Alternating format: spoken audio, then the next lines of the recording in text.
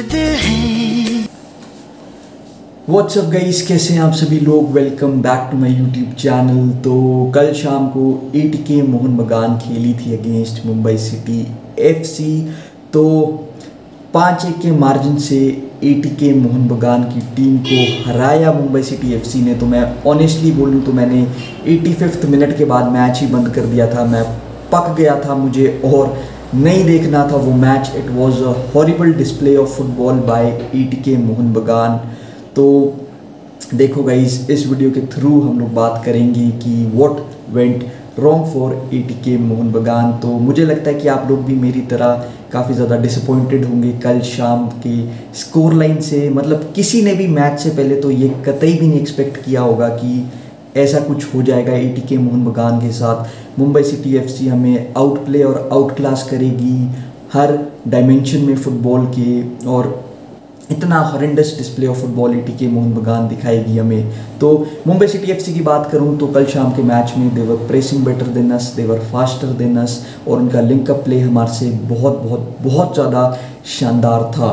तो सबसे पहले तो स्क्रीन पे आ चुके हैं दोनों ही टीम्स के स्टार्टिंग इलेवन तो Mumbai city F C in four two three one whereas A T K Mohun Bagan in three four three तो ए टी के मोहन बगान के स्टार्टिंग इलेवन को देख के मैं बस यही चीज़ पूछना चाहूँगा उनके कोच से कि भाई बैलेंस कहाँ पर है?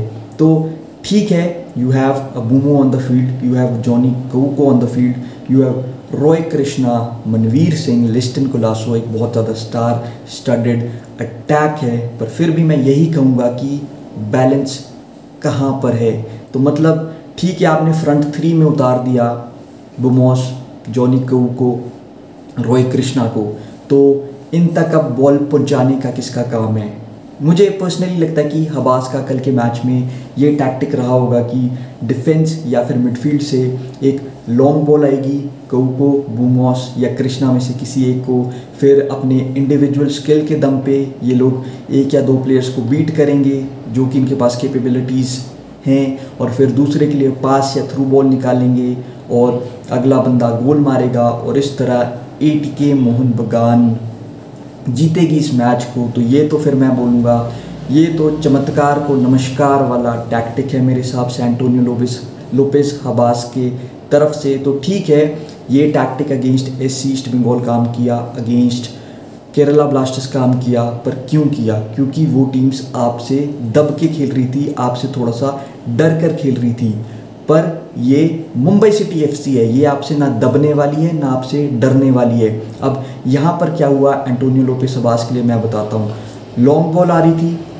मान लो जॉनी कऊ को यहाँ आए और यहाँ से लॉन्ग बॉल आएगी। तो लॉन्ग बॉल आई जॉनी कऊको के पास कंट्रोल करने तक का भी मौका नहीं था बॉल के लिए, क्योंकि फटाफट से मुंबई सिटी एफसी के कम से कम दो खिलाड़ी इन्हें आके प्रेस करेंगे, इन्हें आके मार्क करेंगे, जो कि हमें देखने को नहीं मिला पहले दो गेम्स में एटी के मोहन बगान के लिए एस ईस्ट बंगाल या फिर केरला ब्लास्टर्स एफसी की तरफ़ से। तो ये एक फ़र्क था।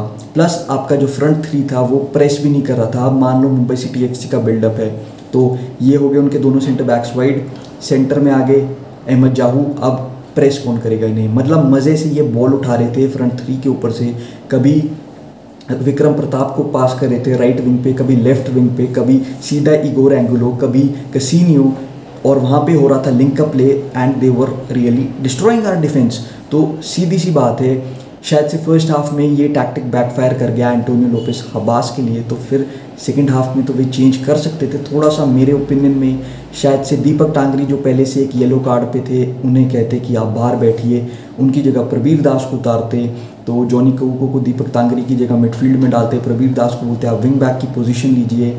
और आगे भेज देते मनवीर सिंह को रॉय कृष्णा के साथ और ह्यूगो बुमॉस को उतारते अटैकिंग मिडफील्ड में। थ्री फाइव टू से ही स्टिक करते, पर थोड़े से चेंजेस ला देते प्लेयर्स में तो फिर शायद से फ़र्क पड़ सकता था और हम एक रिस्पेक्टेबल स्कोर लाइन तक जा सकते थे। साथ ही साथ रॉय कृष्णा गईस तो कल के मैच में throughout ninety minutes Murtada Fall had the upper hand on Roy Krishna तो शायद से एक बोल्ड डिसीज़न लिया जा सकता था एंटोनियो लोपेस हबास के द्वारा, जहाँ पर वे ह्यूगो गोमोस को फ़ील्ड पे रहने देते और रॉय कृष्णा को डेविड विलियम्स के साथ रिप्लेस करते। और जैसे कि मैंने पहले वीडियो में कहा तो अगर ऐसा कुछ बोल्ड डिसीज़न लिया जाता तो हमारे पास आगे अटैक में तो काफ़ी ज़्यादा लंबे चौड़े फ़िज़िकल स्ट्राइकर्स हो जाते मनवीर सिंह और डेविड विलियम्स के रूप में।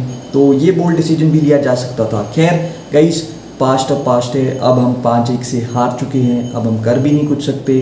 बस मैं यही कहना चाहूँगा कि आगे आने वाले गेम्स में एंटोनियो लोपेस अबास को अपने टैक्टिक्स के साथ स्पॉट ऑन होना पड़ेगा, क्योंकि ठीक है on paper you are the best side in I S L और ये मैं अभी भी कहता हूँ, पर जो बाकी कोचेज़ है, उन्होंने आपकी कमियाँ देख ली है इस मैच में तो वे भी सिमिलर काइंड ऑफ़ टैक्टिक्स अपनाने की कोशिश कर सकते हैं आपके अगेंस्ट तो आपको स्मार्ट इनफ होना होगा और बिल्कुल स्पॉट ऑन होगा, होना होगा अपने टैक्टिक्स के साथ तो कईस ये थे मेरे ओपिनियन आपकी क्या ओपिनियन है? आप नीचे कमेंट बॉक्स में कमेंट करके मुझे बता सकते हैं। So thank you for watching this video मिलते हैं अगली वीडियो में. Peace out